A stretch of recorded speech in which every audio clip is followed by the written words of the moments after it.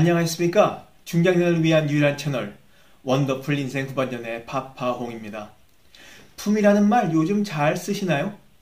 아마도 잊고 있었던 말일 수도 있겠습니다. 가끔 뭐 기껏해야 품위 유지비가 뭐 든다 정도로 쓸 때도 있겠지만 품위 있게 산다는 걸 생각하기란 뭐 여간 쉽지 않습니다. 어울리지도 않을 수 있겠지만 저는 품위 있게 나이 들어가고 싶습니다. 여러분들도 그러실 거예요. 뭐 그래서 오늘은 나이 들면서 품위를 잃지 않고 품위를 지키면서 사는 게 어떤 것인지 여러분들과 이야기를 나눠보려고 합니다. 뭐 더 나은 인생을 향해 가는 원더풀 인생 후반전을 구독하고 즐기시는 분이라면 품위 있게 사는 것에 관심이 많을 거란 생각이 드네요. 오늘 같이 한번 생각해 보시자고요. 구독과 좋아요 버튼 누르는 거 잊지 마시고 오늘도 영상 끝까지 함께 해주시기 바랍니다. 감사합니다. Like a Hellcat.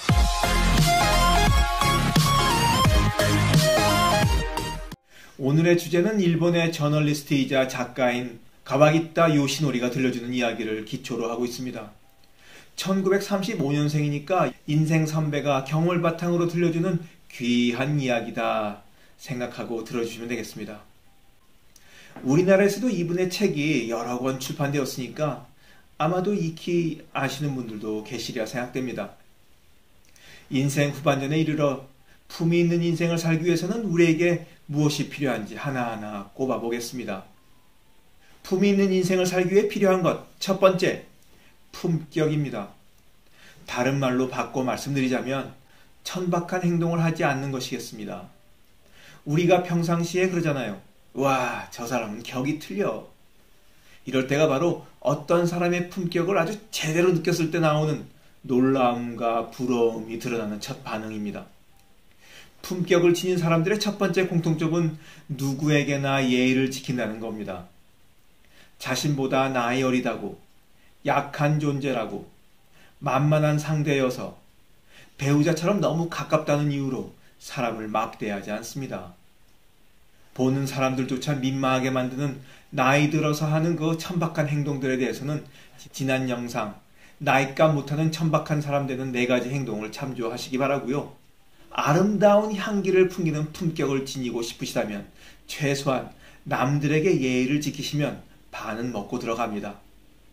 이게 쉬울 것 같죠? 아이, 전혀 그렇지 않습니다. 아무리 다른 사람에게 예의를 지켜야지 뭐 이렇게 마음을 먹더라도 생각이 바뀌지 않았더라면 부지불식간에 툭툭 행동이 나오거든요. 업신여기는 행동 말입니다. 품이 있는 인생을 살기 위해 필요한 것 두 번째 의리입니다.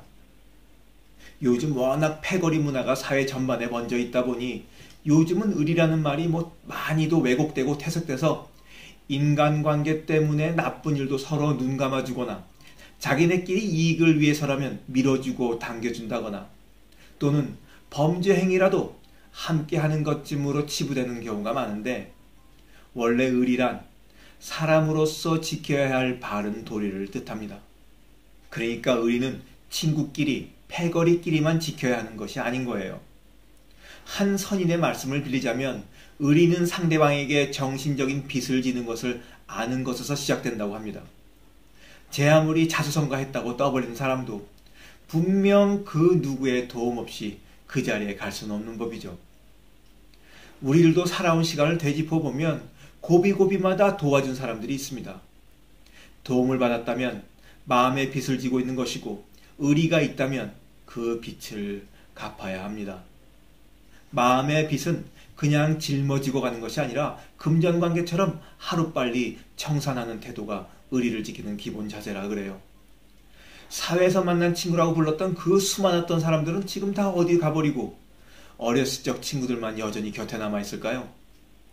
그리고 또 그 어렸을 적 친구들만 진정한 친구라고 힘을 줘서 부르기도 합니다. 그 이유는 뭘까 생각해 보셨어요? 그건 바로 서로 알고 지낸 기간이 길어서가 아니라 이해득실 따위는 생각지도 않고 사리사욕 없는 그 맑은 마음으로 상대를 먼저 생각하면서 행동했던 친구들이었기 때문에 그런 겁니다. 사회에서 만난 친구들은 이해득실을 많이 따졌잖아요. 사람 만날 때 속이 다 보이도록 이해득실 따지지 말고 살아오면서 마음의 빚을 진 친구에게 하루빨리 그 빚을 청산하는 행동을 실행에 옮기는 의리 있는 인생을 사시자고요. 품이 있는 인생을 살기 위해 필요한 것. 세 번째, 인정입니다. 어떤 사람을 인정이 많다고 하십니까? 사람들에게 많이 베푸는 사람입니다. 많이 베푸는 사람은 그 보답을 바라지도 않죠. 그렇게 인정받는 사람을 곁에서 지켜보면 언제나 그 사람은 남을 도와주는 태도를 갖고 있다는 걸 알 수 있습니다. 저희 회사 동료도 그런 분이 한 분 계세요. 45년생이니까 올해 75 되셨는데 행동 하나하나가 남들이 보든 안 보든 굳은 일에 항상 앞장서세요. 저도 그런 태도를 배우려고 하는데 아이 그게 쉬운 일이 아닙니다. 따라갈 수가 없어요. 참, 저 회사는 75대도 자신이 원한다면 계속 다닐 수 있습니다. 뭐 임금 피크제 뭐 이런 것도 없고요.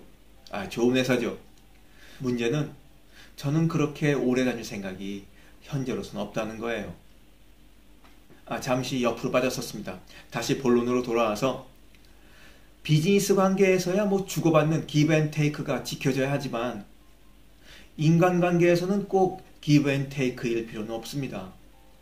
give and give가 계속될 수도 있는 거죠. 남이 알아주던 몰라주던 보답을 해주던 안 해주던 개의치 않습니다. 이게 진정한 주는 마음의 자세죠. 나이 들어 행복해지는 방법 중에 꼭 봉사활동이 들어간다는 걸 아실 거예요.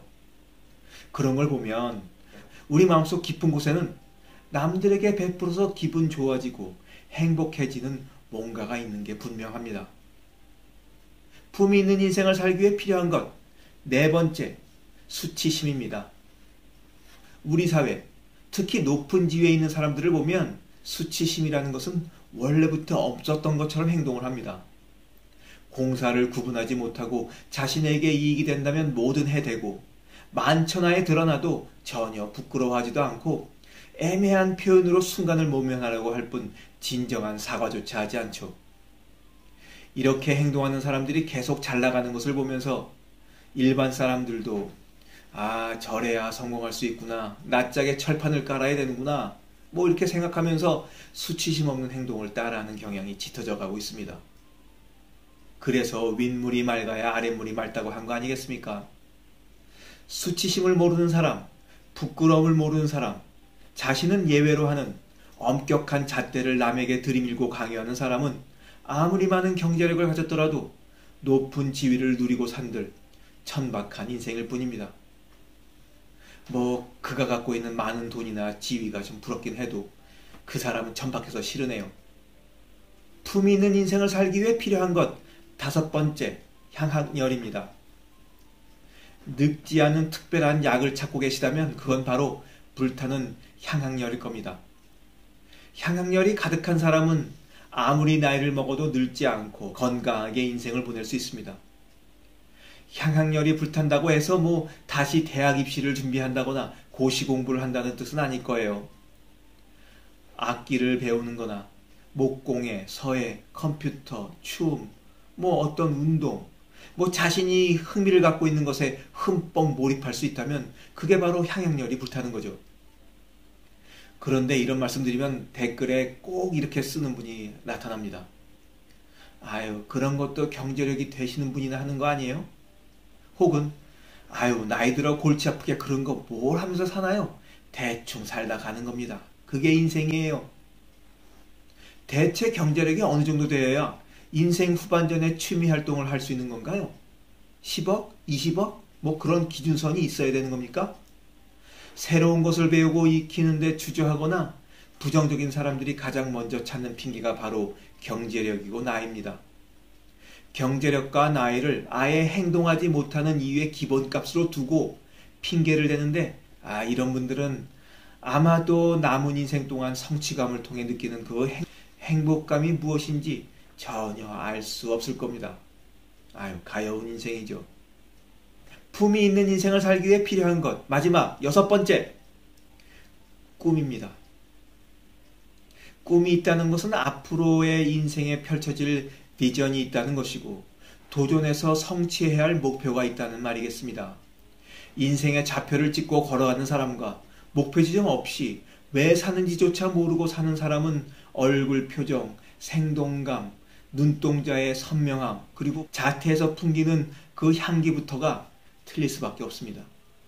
물론 계획을 세운다고 해서 모든 것이 실현되는 것은 아니겠지만 아무것도 하지 않는 사람과 비교하자면 그 성공 가능성은 하늘과 땅 차이로 벌어집니다. 꿈이라고 해서 반드시 인류 역사를 뒤바꿀 만한 크기일 필요는 없습니다. 또 그래서도 안 되고요. 각자의 꿈은 모두 다른 색깔, 다른 크기이고 서로가 서로의 꿈을 존중해 줘야 하겠습니다. 꿈을 향해 나갈 때 절대 마주치지 말아야 할 사람은 부정적인 사람입니다. 야, 너 그 나이에 그거 해서 뭐 하냐? 야, 힘들게 살지 마. 우리 나이에 그냥 대충 사는 게 건강에 좋아.